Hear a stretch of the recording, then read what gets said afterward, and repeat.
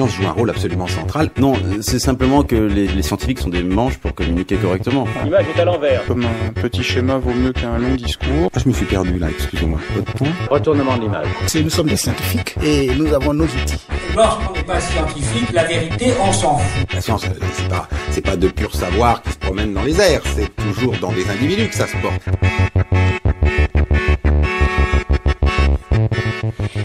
Vous êtes sur FM 93.1. Bonjour à toutes, bonjour à tous et merci d'être fidèles au rendez-vous de Recherche en cours. Recherche en cours, une émission présentée ce matin par Alexandra D'Imperio et Marie-Catherine Mera. Bonjour Alexandra. Bonjour Marie-Catherine.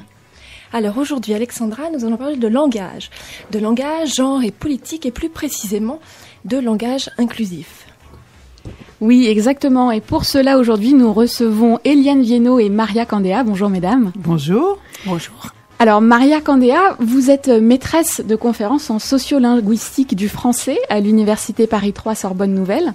Vous travaillez notamment sur les idéologies langagières, on va revenir euh, là-dessus tout à l'heure, les inégalités de classe, de genre, de race, ainsi que sur les discriminations liées à l'accent. Eliane Viennot, vous êtes enseignante-chercheuse, professeuse émérite de littérature française de la Renaissance à l'Université Jean Monnet de Saint-Étienne. Vous êtes devenue historienne de la langue et vous vous intéressez plus largement aux relations de pouvoir entre les sexes et leur traitement historiographique. Par ailleurs, vous êtes toutes les deux militantes féministes. Euh, nous en reparlerons un petit peu plus tard, mais j'aimerais commencer par euh, vous interroger sur la façon dont euh, vous avez souhaité être présentée, maîtresse de conférence, professeuse. Pourquoi le choix de ces termes en particulier? Je commence. Alors, euh, je m'excuse pour ma voix. maîtresse de conférence, c'est tout simplement parce que dans les langues romanes, on accorde les noms de métiers actuellement ça fait longtemps, au genre de la personne. Et euh, donc on fait ça pour tous les métiers, sauf pour les métiers qui ont été longtemps réservés aux hommes. Et donc on garde pour certains métiers une trace de cette euh, interdiction faite aux femmes d'exercer certains métiers. Et, donc euh, moi, évidemment, comme beaucoup d'autres femmes qui exercent des métiers de ce type, je ne veux pas garder cette trace dans ma façon de m'exprimer.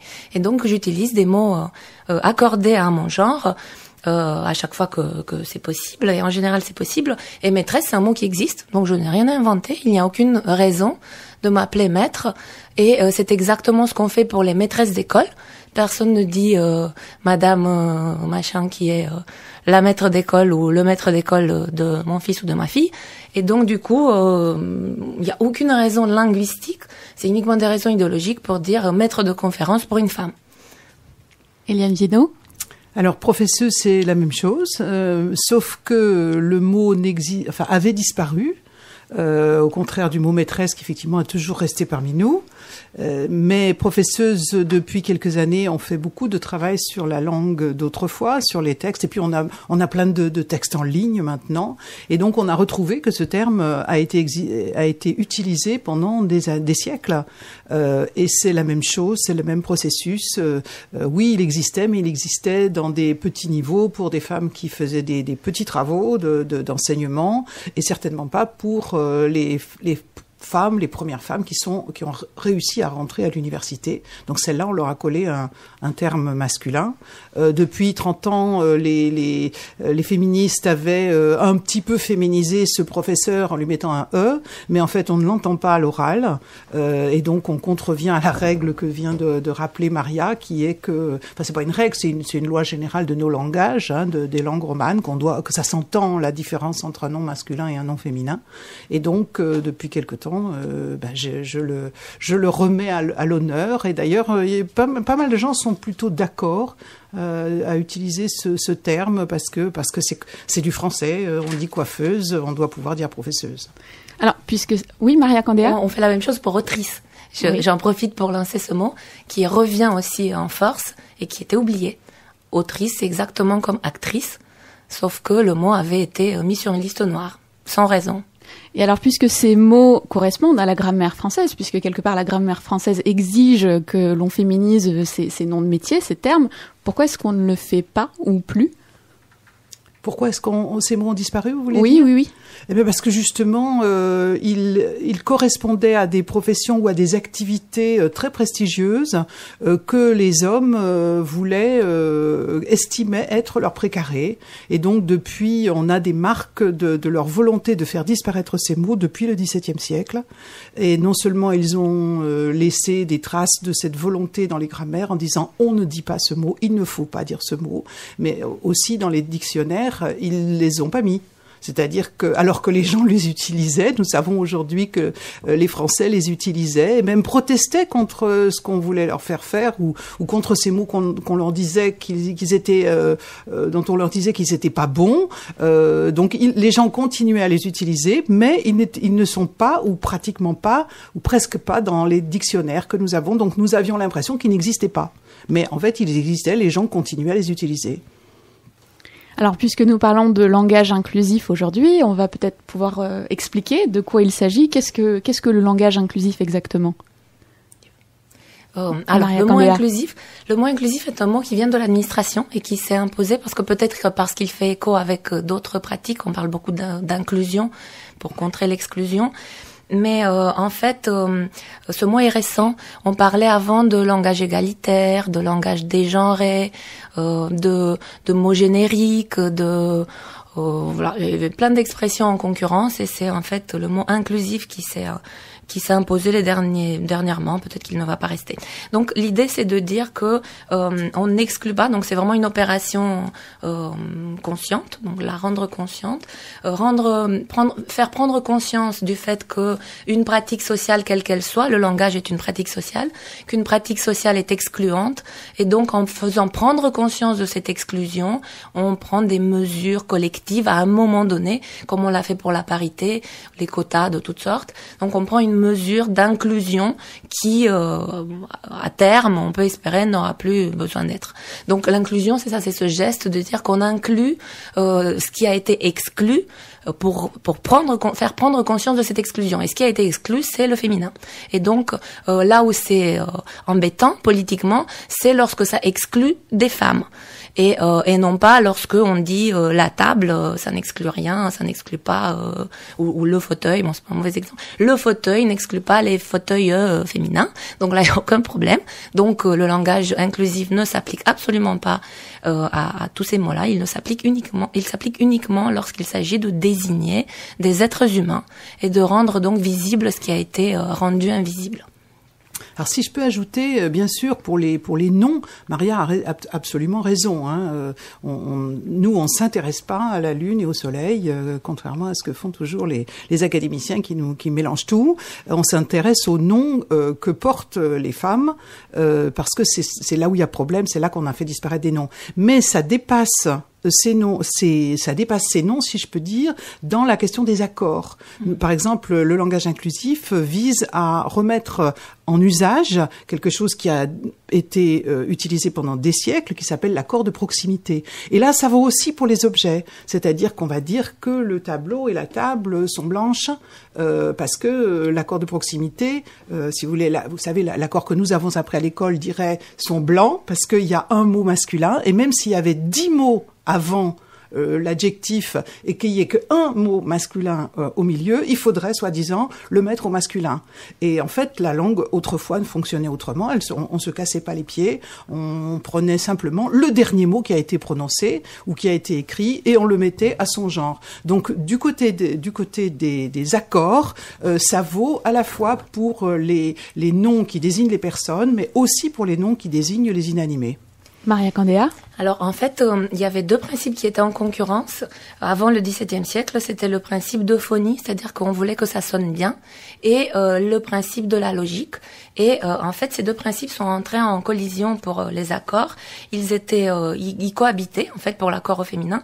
Et au XVIIe siècle, quand l'académie s'est créée, ils ont dit on va enlever le principe de que ça sonne bien. Ça a été très très long. hein. Au XIXe, on l'entendait encore. J'ai relevé encore des exemples du XIXe, donc deux siècles plus tard avec euh, des accords de proximité dans des textes officiels, créer des boulevards et des rues nouvelles. Voilà, boulevard et rue Nouvelle, visiter les coteaux et montagnes voisines, etc. donc en fait, l'Académie a décidé de donner la priorité aux critères idéologiques et euh, ils ont clairement dit il faut que le masculin euh, l'emporte parce que le, le mâle est supérieur à la femelle et le masculin est supérieur au féminin. Et donc du coup, même quand ça sonne pas bien, les gens à l'époque trouvaient que ça sonnait pas bien de dire créer des boulevards et des rues nouveaux. Donc ça a été très très long à imposer ça mais euh, ils ont, voilà, par, pure idéologie, ils ont décrété du jour au lendemain qu'une règle qui s'appliquait était devenue incorrecte et ça a mis à peu près trois siècles pour que ça passe dans l'enseignement. Alors une question peut-être un, peu naïve, mais est-ce que cette problématique, n'existe que dans la langue française? C'est-à-dire est-ce qu'on retrouve des problématiques un peu similaires dans d'autres langues? Alors oui, on trouve euh, des problématiques similaires, mais Maria en dira peut-être, elle en sait plus que moi là-dessus. Mais en tout cas, beaucoup de, ça fait une trentaine d'années en fait que dans à peu près tous les pays euh, qui se posent la question de l'égalité des sexes, il y a des, des, des, réflexions sur le langage. Alors ça ne se traduit pas de la même façon dans toutes les langues, puisque toutes les langues ne fonctionnent pas de la même façon. En anglais, par exemple, on a surtout euh, le, le, nettoyage finalement est plus simple que chez nous, ou parce que nous avons des langues très genrées. Euh, on a fait disparaître chairman ou aujourd'hui on se fireman par exemple. Ben on enlève man et on met soit woman soit personne euh, à la place. Et puis on se pose des questions sur quelques pronoms, mais ça va pas tellement plus loin parce que ces langues-là sont peu genrées. En revanche, dans les langues romanes, il y a tout un travail euh, de parce qu'on a les mêmes, on a eu les mêmes phénomènes, à peu près les mêmes phénomènes de masculinisation de la langue, euh, même si euh, ça ne se pose pas de la même façon parce qu'on entend encore beaucoup plus les, les, féminins et les masculins, par exemple en espagnol euh, ou en italien. Mais peut-être Maria mmh. peut dire plus. Tout à fait. Euh, alors en fait, euh, encore une fois, les, les, langues sont des pratiques sociales et donc ça se négocie sans cesse. Et sur le genre, la question se pose absolument pas de la même manière. Il y a plusieurs cas de figure dans les langues du monde, enfin selon ce que je connais. Il y a des langues où il n'y a pas de genre du tout, par exemple le hongrois ou le, le finlandais. Il y a des langues où il y a deux genres, comme dans les langues romanes, donc il n'y a pas plus. Et donc dans ce cas-là, euh, quand on a besoin d'exprimer du générique, euh, soit on invente des formes nouvelles, euh, soit on choisit un des deux genres. Donc on aurait pu choisir le féminin, par exemple, si c'était si arbitraire. Et il y a des langues où il y a trois genres le féminin, le masculin et le neutre. Donc du coup, évidemment, les questions ne se posent pas dans les mêmes termes.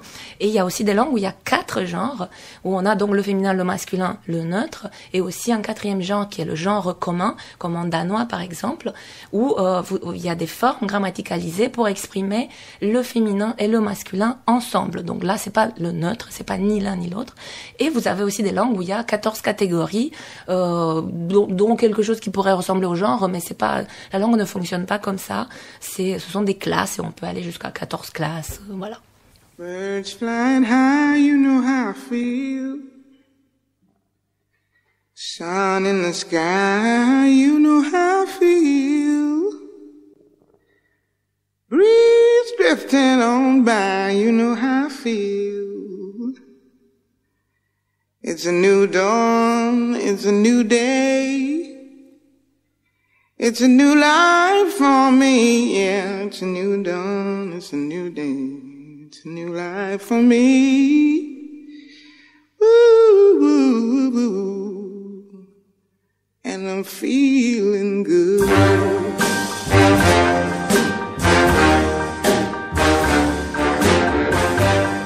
Fish in the sea, you know how I feel. River running free You know how I feel. Blossom on the tree, you know how I feel. It's a new dawn, it's a new day, it's a new life for me. And I'm feeling good.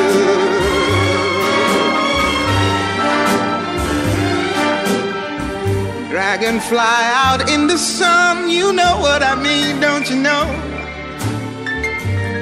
Butterflies all having fun, you know what I mean. Sleep in peace when day is done, that's what I mean. And this old world is a new world and a bold world for me.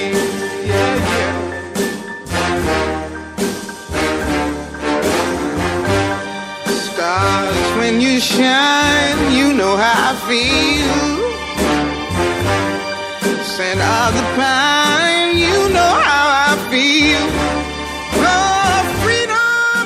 Vous êtes sur Aligre FM, euh, recherche en cours. Aujourd'hui, nous parlons de langage inclusif et nous avons réussi à faire toute cette première partie d'émission sans parler du fameux point médian qui a défrayé la chronique. Le point médian, à quoi ça correspond Est-ce que c'est représentatif du langage inclusif? Eliane Viennot. Alors euh, c'est un c'est un aspect secondaire, je dirais, de, de la chose, bien qu'on n'ait parlé que de ça euh, lors de la dernière polémique, parce que c'est euh, le, le langage inclusif euh, est valable, les, les, les techniques qui sont proposées pour euh, parler de manière moins sexiste sont valables à la fois pour le, le, le langage oral et pour le langage écrit, mais il y a deux trois petites choses qui euh, à l'écrit sont un peu sont peuvent être particulières parce que quand on écrit on, on a un peu plus de temps on a, plus de, voilà, on est moins dans, l'immédiateté. Et puis on a envie d'aller vite, d'aller plus vite parce que, parce que écrire ça fatigue la main, hein, ou, le, ou ça prend du papier, ou ça prend de l'espace. Donc euh, le point médian, c'est une abréviation euh, qui est une abréviation relativement nouvelle dans l'histoire des abréviations. Les abréviations sont vieilles comme l'écriture, mais celle-là ne, vise pas à écrire un mot plus de manière plus, plus, plus courte, comme on écrit monsieur ou madame euh, en, en de manière à, plus, plus rapide avec un M point par exemple.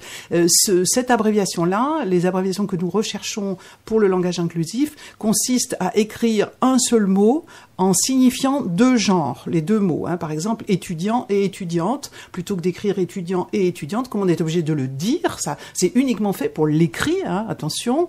Euh, mais quand on écrit, quand, quand on va écrire les étudiants et les étudiantes, ben, il se trouve que tout, très vite, les gens on, se sont dit, mais il y a moyen de faire mieux que, que d'écrire les deux mots. Alors on a commencé par les parenthèses, en mettant le e entre parenthèses, et puis ensuite on est passé au point, au trait d'union. On a essayé plein de choses, des barres obliques, des etc. Et euh, bon, ça fait une vingtaine ou une trentaine d'années qu'il y a ce, ce, ces tâtonnements, et petit à petit, on se rend compte que telle proposition euh, est un peu problématique. Mettre le e entre parenthèses, ça, a un drôle de sens. Mettre les, les femmes entre parenthèses, euh, mettre le, trait d'union va à la ligne. enfin bon, et puis il veut pas dire ça exactement. Donc on, en est arrivé aujourd'hui à ce point milieu, ce point qui n'est pas sur la, sur la ligne comme les points normaux qui, qui signifient la fin de la, ligne, mais qui se met au milieu, euh, qui est utilisé dans d'autres langues. C'est pas une invention. En plus, il y en avait le grec ancien, euh, donc c'est pas du tout une invention. Mais par contre, il n'était pas utilisé en français.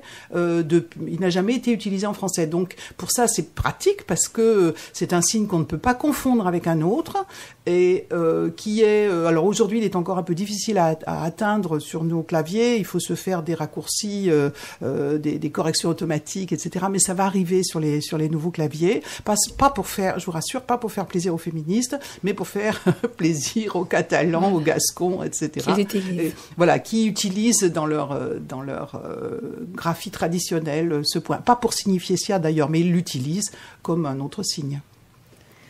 En fait, c'est une proposition, c'est un chantier actuel pour inventer justement des formes de genre commun en français. Et on a les mêmes chantiers dans toutes les langues romanes en fait, sauf le roumain pour l'instant. Donc ça veut pas dire que demain on va devoir tous utiliser le point médian. C'est un chantier. C'est une possibilité. Donc voilà, c'est une possibilité en fait. Comme c'est une encore une fois une pratique sociale, la langue change sous la pression du grand nombre. Et donc parfois elle change euh, selon comment dire, il y a des personnes qui ont une grande notoriété et qui arrivent à imposer des mots nouveaux, par exemple, par leur notoriété. Ça, c'est un mécanisme de changement. Et euh, l'autre mécanisme, c'est par le bas, comme on, dit euh, très élégamment en sociologie, le bas étant le bas de la société. Donc la pression vient du bas. Et euh, dans ces cas-là, c'est le nombre qui va jouer. Donc s'il y a plein de gens qui s'y mettent, euh, ça deviendra euh, une, une, règle, probablement au début en concurrence et au bout d'un moment peut-être euh, une règle majoritaire. Donc là, pour l'instant, on est en chantier. On invente un genre commun dans les langues romanes. Alors ça a l'air extrêmement pratique, comme vous disiez, effectivement. Mais alors pourquoi tant de résistance? Pourquoi? Quelles sont les résistances d'abord les plus fréquentes? On entend que c'est contre-intuitif, etc. Pourquoi finalement? Euh, moi, le, comment dirais-je, l'expérience que j'ai, la conclusion que je fais, c'est parce que la plupart des gens qui parlent de ça et qui s'y opposent ne savent pas de quoi on parle. Ils ont, ils ont vu un point médian et ils poussent des cris. Euh. En plus, il faut dire que, euh, comme, comme dit Maria, c'est un, un chantier qui avance, qui progresse. Il va, il, va encore s'améliorer. Hein. par exemple, aujourd'hui, on voit beaucoup de pratiques du point médian qui mettent deux points quand les mots sont au pluriel, euh, parce qu'on vient de, de, la parenthèse. On est parti du système de la parenthèse où il y a évidemment forcément deux parenthèses, une, une qui ouvre, une qui ferme. Ensuite, on a mis deux traits d'union, deux points bas, etc. Donc, mais, mais le deuxième n'est absolument inutile, puisque ce qu'on cherche à faire, c'est des mots communs, comme euh, le, le, disait Maria. Donc, ce qu'on veut signifier, c'est que le mot est à la fois valable, est à la fois le féminin et le masculin. Donc, on en a besoin que d'un. Donc, euh, euh, sans, sans, doute, les gens qui ont poussé des cris avaient, avaient vu trois, quatre textes avec trop de points, d'autant que des, des, des, réactionnaires qui sont tout à fait répertoriés se sont amusés, par exemple, je ne sais pas si vous avez vu la, la fable de La Fontaine qui a circulé euh, avec des points, des tirets, des machins, des trucs, etc. Euh, personne n'a jamais proposé de faire ça. Ce sont, c'est des sites d'extrême droite qui ont fait circuler ce, ces textes, mais ils ont essayé de faire peur avec l'idée qu'on allait euh, tout charcuter, on allait réécrire les classiques, ce que personne n'a jamais proposé. Il n'est pas question de toucher les classiques. Enfin, je veux dire, euh, quand, Balzac écrit, il n'écrit pas les commerçants et les commerçantes, il écrit les commerçants. Voilà. Donc la seule chose qu'on risque, euh, si on s'habitue à ce langage inclusif, c'est de repérer à quel point les textes classiques sont sexistes. Mais c'est mais c'est pas grave. Je veux dire, c'est un fait de, de, de société qu'on était sexiste au XIXe siècle, par exemple. Et euh, pourquoi vouloir absolument changer la langue, puisque aujourd'hui on parle encore à nouveau euh, de plus en plus d'égalité entre les hommes et les femmes. Euh, est-ce qu'il n'y a pas d'autres chantiers que la langue, ou est-ce que la langue, ça va vraiment changer la société? Quel, est le but en fait? La langue ne change jamais la société, c'est l'inverse. C'est la société qui change la langue. On part toujours du, du, du, social et on va vers la langue. Donc justement, c'est euh, à un moment donné, si les académiciens ont proposé de supprimer des mots féminins et euh, d'inscrire la domination masculine dans la langue, c'est parce que les gens autour d'eux étaient d'accord. Sinon, ça n'aurait pas pu être fait. Et là, si on a tous ces débats, c'est parce que ça ne nous convient plus de dire euh, Madame le ministre, ça fait 40 ans qu'on débat de ça. ça. Ça a pris 40 ans. Enfin, c'est quand, quand on y pense, maintenant on se dit mais c'est quand même énorme, 40 pour dire juste Madame la ministre. Ça a pris 40 ans. Voilà. Donc du coup, c'est parce que la société change que la langue change. C'est complètement dans l'autre sens. Donc euh, en fait, euh, euh j'avais parlé tout à l'heure des langues qui n'ont pas de genre. C'est pas parce qu'une langue n'a pas de genre que la société est, est non sexiste. C'est parce qu'il y a eu d'autres raisons. Ça s'est fait comme ça et ça ne suffit jamais. En fait, si on a une entorse, on peut pas gagner le marathon. Mais si on n'a pas d'entorse, moi je peux pas gagner le marathon non plus. Donc je veux dire, c'est pas, ça ne va pas dans l'autre sens. Donc actuellement dans les langues romanes, c'est perçu comme très embêtant le fait d'invisibiliser les femmes justement dans des professions où elle n'y avait pas accès. Donc ça, ça a basculé à peu près dans toutes les langues romanes, sauf, en roumain pour l'instant, pour accorder les noms de métiers aux femmes quand il s'agissait, parce que c'est que dans ce sens sauf pour sage-femme. Il n'y a que dans ce sens que la question s'est posée.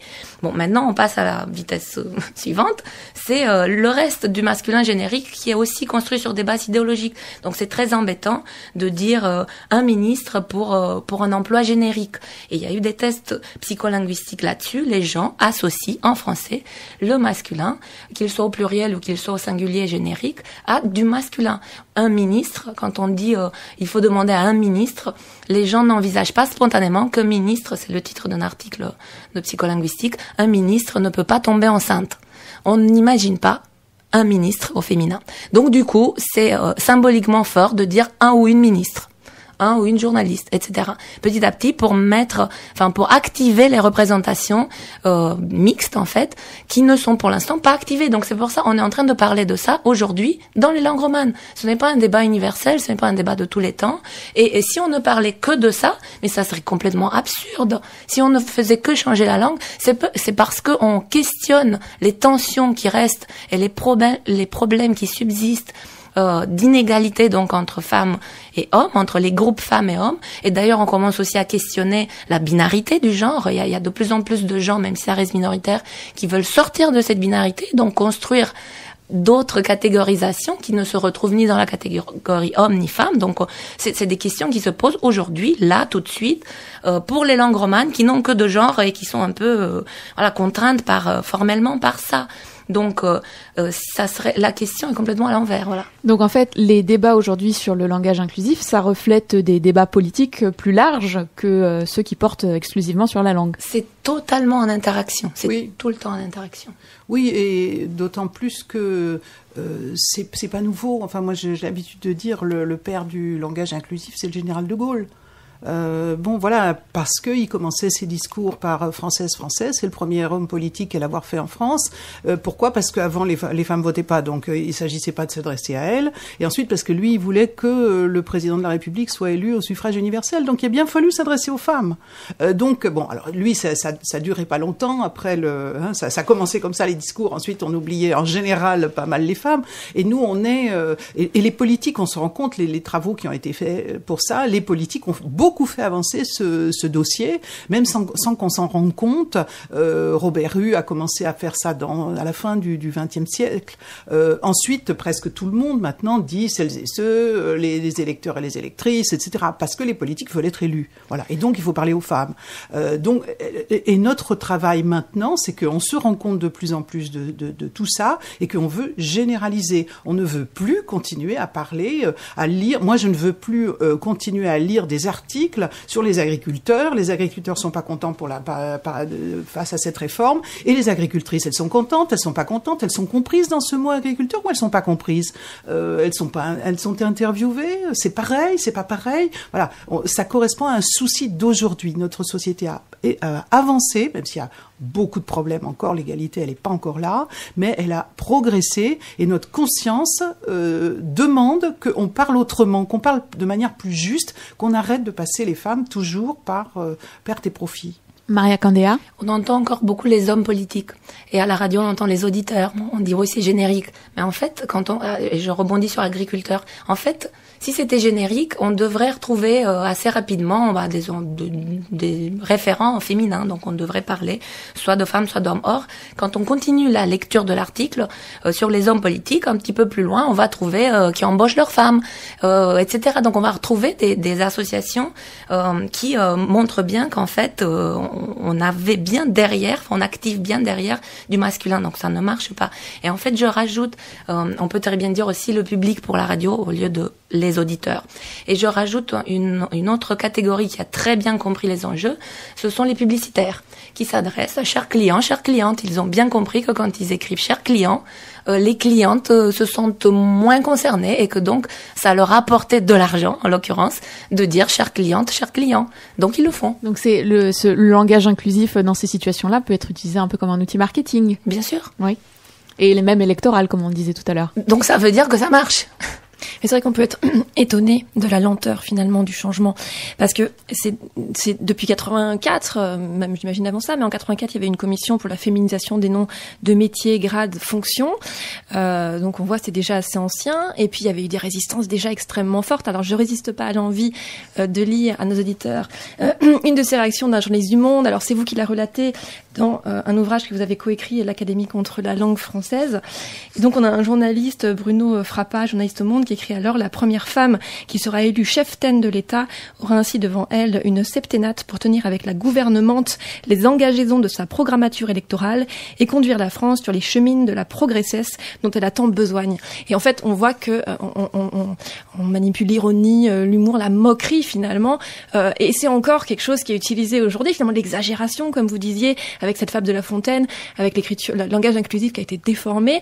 On est là dans l'exagération pour euh, augmenter finalement la résistance à, ces changements. Oui.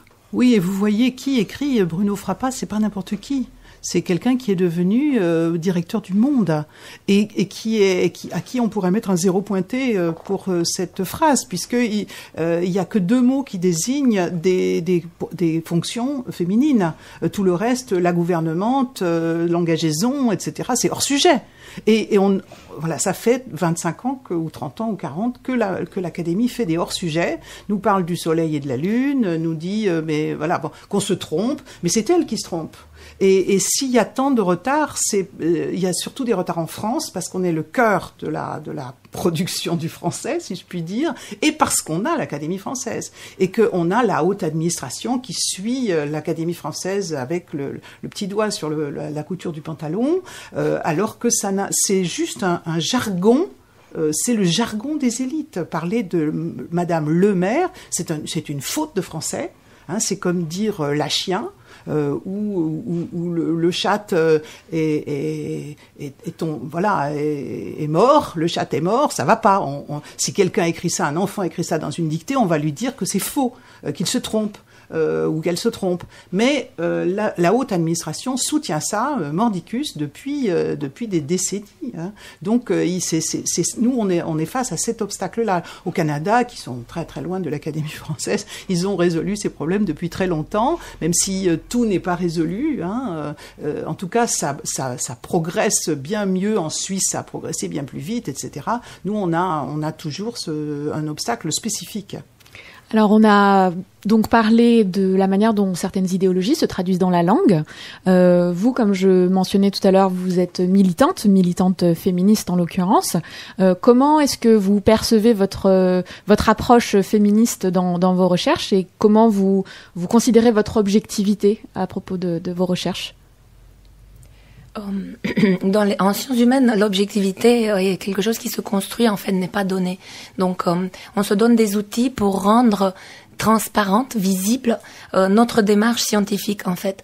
Et euh, on n'a pas de de mesures euh, comme euh, je sais pas pour mesurer euh, la circonférence de la Terre ou ou une ou la température à laquelle l'eau va se mettre à bouillir. Là, on a on a des mesures mesures objectivables. On fait des expériences, on monte en altitude, on reprend la température et on voit que l'eau bout à une température différente. Voilà. Pour les sciences humaines, c'est pas comme ça. Ce sont des points de vue et les points de vue construisent en fait l'objet selon le point de vue qu'on va adopter.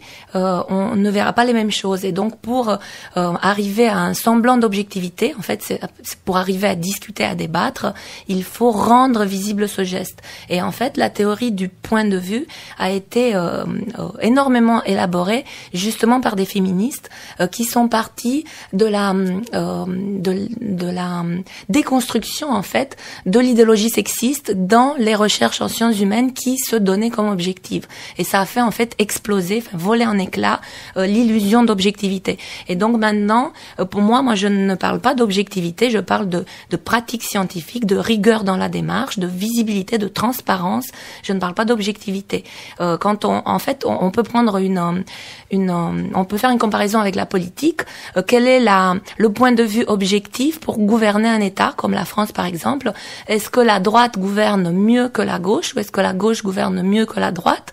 Est-ce que la droite est plus pertinente pour gouverner la France ou est-ce que la gauche est plus pertinente? Il n'y a pas de point de vue objectif. Il y a des, il y a des arguments qu'on peut euh, échanger et à un moment donné, on tranche et on se donne, on tranche quand on a besoin de trancher. On n'a pas toujours besoin de trancher tous les débats. En l'occurrence, pour le mode de gouvernement, on a besoin de trancher. On s'est doté d'un outil, on vote. Et donc on va dire, on va confier à la majorité euh, le, la décision. Ça ne veut pas dire, on le sait, que la majorité a raison. Mais on s'est mis d'accord ensemble pour dire bon, on va dire que la majorité va choisir le gouvernement. C'est toujours comme ça en sciences sociales. Euh, Il y a des points de vue qui peuvent être majoritaires à un moment donné, devenir minoritaires et discuter, discuter, rediscuter. Donc euh, on a des débats. Eliane Geno, vous, par rapport euh, à vos recherches et votre féminisme, comment vous arrivez à articuler ça? Euh, de la même façon, c'est-à-dire que je- j'essaye aussi de, bah, de dire d'où je parle. Je parle du point de vue d'une personne qui veut comprendre pourquoi euh, euh, pourquoi euh, je suis je, je suis discriminée euh, en tant que femme ou pourquoi je l'ai été ou pourquoi je suis née dans une société qui ne proposait pas les mêmes les mêmes opportunités aux filles et aux garçons. Mais c'est clair et ça n'empêche pas du tout de faire de, un travail rigoureux. Et je pense même que quand on est, quand on avance euh, ouvertement euh, comme féministe, on doit faire deux fois plus de preuves que ce qu'on fait est scientifique. Et donc, euh, ben, on, fait, on, approche avec, on, on, essaye de prouver ce qu'on dit. Moi, par exemple, je pense savoir prouver le sexisme des gens qui ont transformé la langue au XVIIe siècle. Je, je, c'est pas très compliqué. Je montre les textes, sors les textes. Tout le monde peut aller voir ces textes. Tout le monde peut aller lire les grammaires que je cite ou les remarques sur la langue euh, française euh, que je cite. Et euh, on voit bien que c'est pas moi qui ai inventé que voilà quand quand ces messieurs disent nous voulons que le genre le plus noble l'emporte parce que le bah, parce que le masculin parce que les hommes sont supérieurs aux femmes, c'est c'est pas pas un point de vue sexy, c'est pas une imagination d'une femme qui fait qui milite, qui veut oui, je suis une féministe mais je montre quelque chose qui est réel. Alors Alexandra, je crois que vous êtes allée euh, rencontrer Laïla euh, Véron, qui est une chercheuse en stylistique qui fait de la vulgarisation. Oui, c'est ça. Elle est docteur en stylistique. Elle m'a expliqué que c'est une discipline à cheval entre la linguistique et la littérature. Elle est très active sur Twitter et euh, elle prend régulièrement la parole pour parler de, de vulgarisation et ça, et ça marche. Alors je lui ai demandé de nous expliquer un peu sa démarche. Alors au départ, je n'y croyais pas du tout. ça m'intéressait pas. J'avais l'impression que c'était cette idée de faire de la vulgarisation ou de la massification sur les réseaux sociaux, c'était la complaisance. Et au fait, tout simplement parce que j'ai une amie, Mathilde Larère, qui le fait en histoire, Mhm. et qui le fait bien. Et j'ai vu ce qu'elle faisait, j'ai vu la manière dont elle le théorisait aussi. Et je me suis aperçue que je trouvais ça intéressant. Et euh, du coup, j'ai voulu essayer. Et ça, me- notamment parce que c'était le moment où il y avait des débats sur l'écriture inclusive, et c'était fou de voir, euh, par exemple, à quel point euh, les médias ne faisaient pas leur travail.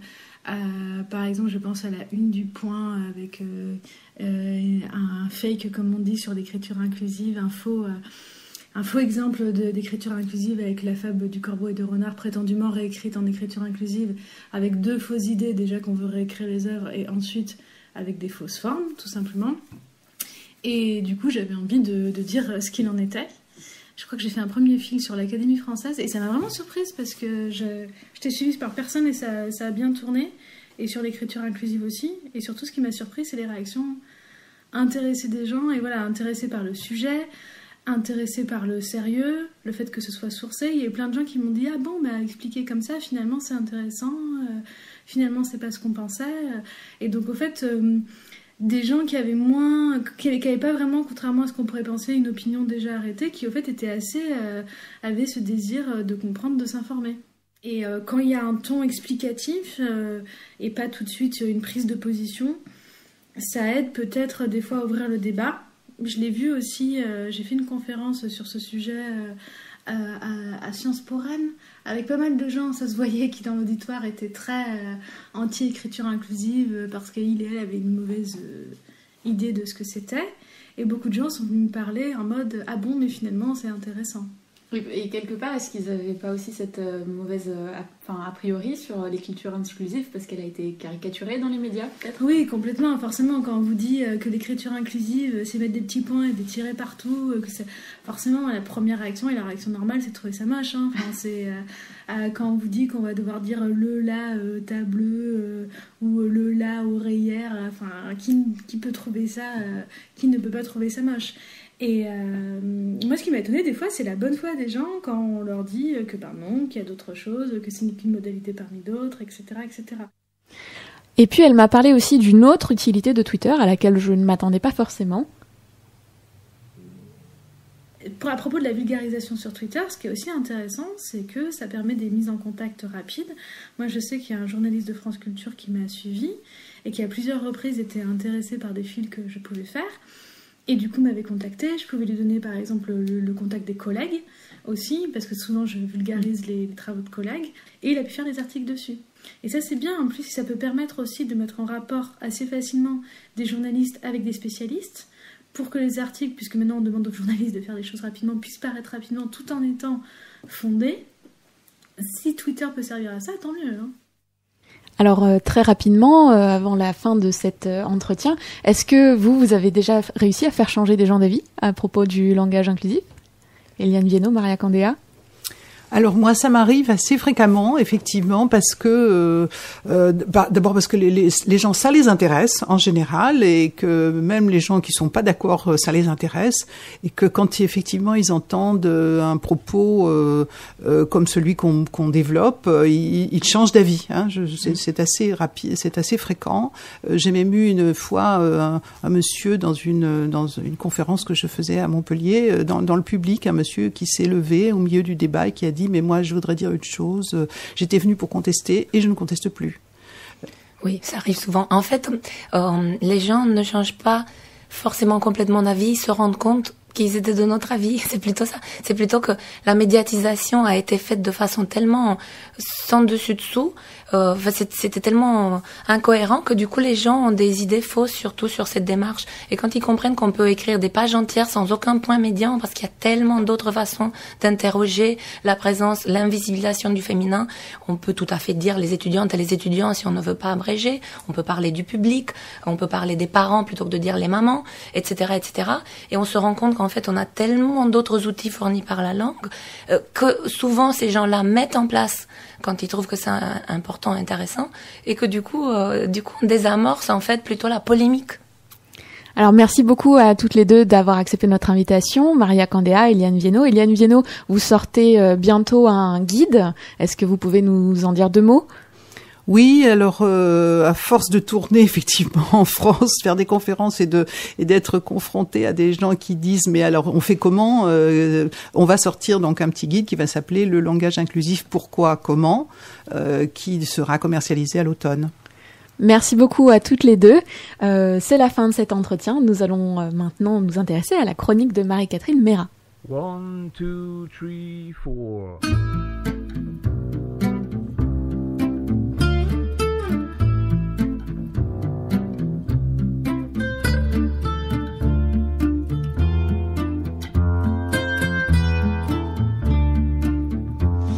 Tiens d'abord à m'excuser, j'ai écorché le nom de Laëlia Véron c'est pas Leïla Véron. Je sais comme c'est désagréable, donc voilà, je m'excuse. Alors moi, je vais vous parler ce matin de fraude scientifique, donc on change un petit peu de sujet, euh, mais pas tant que ça, vous allez voir sur la fin de ma chronique. Je vais vous parler plus précisément de l'initiative Ethics and Integrity, euh, éthique et intégrité, une plateforme numérique d'information et de veille sur la fraude scientifique, qui a été créée par Seraya Maouche, ingénieure en informatique et chercheuse en bioinformatique. Alors pourquoi une telle initiative? Eh bien, parce qu'il bien dire que la communauté scientifique est loin d'être irréprochable. Selon différentes études menées sur le sujet, la fraude concernerait de 1 à 5% des 1 400 000 articles scientifiques publiés annuellement dans le monde, ce qui fait beaucoup. Alors qu'appelle-t-on fraude? Il en existe trois types, le plagiat, la fabrication de données et la falsification. À cela s'ajoutent bien sûr de nombreuses pratiques discutables, distorsion, sélection voire omission de données, références erronées, changement de tests statistiques, manipulation d'images et j'en passe. Vous avez peut-être entendu parler de certaines affaires retentissantes en France récemment. L'affaire Gessu, débutée en 2007 notamment, avec des soupçons d'inconduite scientifique sur la biologiste Catherine Gessu, directrice depuis 2013 de l'Institut des sciences biologiques du CNRS, lavée de tout soupçon depuis, mais aussi l'affaire Voinet, débutée en 2014, révélée par le site PubPeer. Donc Olivier Voinet, qui est chercheur en biologie végétale, qui a été sanctionné par le CNRS et l'école polytechnique fédérale de Zurich pour avoir pris de graves libertés avec les règles de la publication scientifique. Et puis l'affaire Étienne Klein, bien sûr, révélée fin 2016, accusé de plagiat et notamment d'avoir recopié plusieurs auteurs pour écrire un ouvrage grand public et qui a été démis de ses fonctions de président du conseil d'administration de l'Institut des hautes études pour la science et la technologie en avril 2017. Alors cela fait des années hein, que Seraya Maouche, elle, lutte contre la fraude scientifique et milite pour une recherche transparente, ouverte, éthique et intègre, qui est d'ailleurs l'entête du blog qu'elle anime sur le site Mediapart. Elle nous explique les origines de son engagement il y a près de dix ans. En fait, l'impulsion de départ est que, initialement, moi, je terminais ma, ma thèse euh, à l'INSERM euh, en 2010 et euh, j'ai fait donc j'ai été victime de fraude scientifique, c'est-à-dire je euh, j'ai refusé de signer des articles scientifiques qui contenaient de la fraude et, donc j'ai été confrontée au silence euh, des institutions, donc carrément des présidents d'université qui soutenaient les fraudeurs. Alors Seraya Maouche a ensuite quitté la France pour l'Allemagne où elle a pu constater que la situation était encore plus grave. Nous sommes alors en 2011 et le ministre allemand de la Défense, Karl Theodor zu Gutenberg, est obligé de démissionner en raison d'accusations de plagiat dans sa thèse de doctorat. Euh, en charge d'un projet européen, Seraya Maouche se rend compte que la fraude est partout. Lors d'une conférence, elle est victime de plagiat et d'usurpation d'identité. L'université choisit là encore de soutenir le plagiaire. Elle porte plainte et rentre en France fin 2013. C'est alors qu'elle décide de créer cette plateforme éthique et intégrité pour lutter contre la fraude scientifique et soutenir les victimes qui ont vécu la même chose qu'elle. Voilà, fin 2013, en fait, je décide de, créé cette plateforme d'abord pour pour soutenir les victimes en fait qui ont subi des choses comme moi parce que quand on est victime d'abord on est sous le choc dans la logique d'une femme ou d'un homme scientifique un scientifique est par nature respectueux des règles éthiques, de l'intégrité, etc. Mais quand on est confronté à ça et après on voit que l'université protège plutôt les fraudeurs, on est sous le choc.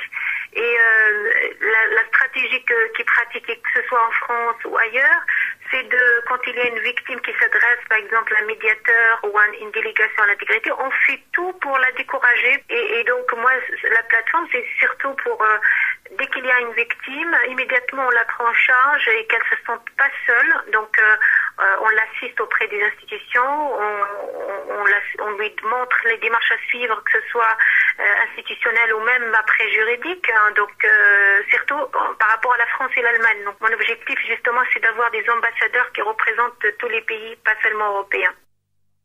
Puis arrive l'affaire Marthe Gauthier, fin 2013, une chercheuse biologiste qui a été dépossédée de sa découverte pendant de nombreuses années. Marthe Gauthier a en effet joué un rôle essentiel dans la découverte de l'origine génétique de la trisomie 21 à la fin des années 50, mais c'est un autre scientifique, Jérôme Lejeune, qui obtiendra tous les honneurs de cette découverte, notamment le prix Kennedy en 1962. Une affaire qui rappelle d'ailleurs celle de la Dark Lady de l'ADN, euh, euh, Rosalind Franklin, euh, co-découvreuse de la structure en double liste de l'ADN, grande oubliée du prix Nobel cette même année, en 1962. Il faut croire que c'était une sale année pour les femmes scientifiques. Et ce qui n'était jusqu'ici qu'une plateforme en ligne devient alors association, euh, puisqu'à l'occasion de la médiatisation de l'affaire, eh bien Marthe Gauthier contacte Seraya Maouche et ensemble, avec une avocate, elle décide de créer l'association Éthique et Intégrité, dont les missions sont multiples euh, et précisées sur le site internet de l'association. Alors bien sûr, favoriser euh, le développement et la promotion d'une recherche scientifique intègre, éthique, ouverte et responsable, accompagner les victimes de fraude scientifique, mais aussi alimenter les réflexions sur la situation des femmes dans les euh, STEAM, sciences, technologies, ingénierie, mathématiques. Il y a notre association a principalement deux objectifs. Donc c'est l'aspect intégrité et l'aspect femmes en sciences. Donc en parallèle, on développe des ressources euh, notamment une base de données qu'une partie elle est en ligne mais une autre elle, elle sera bientôt disponible sur le site de DataGouv. Euh, donc euh, on essaie aussi de développer l'aspect femmes en sciences euh, et on mènera des actions justement concernant les femmes sur les publications scientifiques. Alors car les femmes effectivement sont particulièrement victimes de plagiat et autres formes de fraude, euh, ou en tout cas victimes de déni ou minimisation de leur contribution. Un phénomène de sociologie des sciences décrit par l'historienne des sciences américaine Margaret Rossiter et nommé effet Matilda, du nom d'une féministe américaine, Matilda euh, Jocelyn Gage, qui avait la première remarqué cet inégal traitement des hommes et des femmes scientifiques à la fin du 19e siècle. Autre phénomène sociologique observé en sciences qui touche aussi les femmes, l'effet harem. Euh, lorsqu'un homme scientifique en position de pouvoir s'entoure de femmes scientifiques qu'ils mettent en position de subordination, femmes souvent moins bien payées pour réaliser les mêmes travaux scientifiques que des hommes. Pour Seria Maouche, il est donc essentiel d'informer et de former, d'éveiller les consciences sur ce type de phénomène qui existe malheureusement encore aujourd'hui dans les laboratoires là, on est vraiment en train de mettre en place tout ce qu'il faut pour euh, lancer des, des, formations, lancer des, des activités, donc des, des, conférences, des activités utiles, donc euh, pour, euh, pour le, surtout sensibiliser les jeunes filles. Les femmes ont une place importante à, à, à conquérir. Euh, lentement donc, espérons-le, les mentalités évoluent. L'association éthique et intégrité est aujourd'hui un acteur incontournable en France. Elle est contactée par de nombreuses institutions. En mars 2017 a été créé l'Office, l'Office français d'intégrité scientifique au sein du Haut Conseil de l'évaluation de la recherche et de l'enseignement supérieur. Donc si elle reste sans nul doute sous-estimée, eh bien la fraude scientifique n'est en tout cas plus niée. On en parle euh, enfin au grand jour. Voilà, et moi j'avais envie d'avoir une petite peut-être réaction euh, de votre part. Est-ce que euh, dans le champ des sciences humaines, on observe le même type de phénomène? Est-ce qu'on a aussi euh, ces phénomènes de fraude? Hmm, Pour les fraudes qui sont possibles en sciences humaines, c'est plutôt le plagiat, mais c'est un peu les mêmes dynamiques en fait de domination, de difficulté à avoir accès aux au postes de responsabilité, enfin de de euh, hiérarchie euh, abusive, des choses comme ça, mais euh, trafiquer les preuves, ou comme on n'a pas de preuves et que c'est encore une fois une question de, de transparence de la méthode, ça ne se pose pas exactement dans les mêmes termes. Mais, mais on a les mêmes tendances, en fait, le même type de sociologie. Quoi. Alors merci beaucoup euh, à toutes euh, d'avoir été présentes aujourd'hui. Cette émission vous a été présentée par Marie-Catherine Mera et Alexandra D'Imperio en présence d'Eliane Vieno et Maria Candéa. Gilles Brézard à la réalisation, merci beaucoup. La prochaine, euh, le prochain rendez-vous de recherche en cours sur Aligre FM, ce sera à la rentrée en septembre. Merci à tous et d'ici là, passez un bel été.